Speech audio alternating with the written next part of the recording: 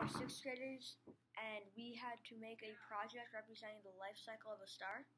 We used Starry Night by Vincent van Gogh as an inspiration for our project. Each group had to choose a path of a star, either a low mass star that will go through the red giant phase or a high mass star that goes through the red supergiant phase. We also had to show the life cycle in the correct order. For example, you wouldn't have a black hole before the red supergiant.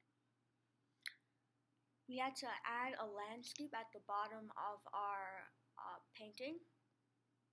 And we also had to show the characteristics such as size and shapes.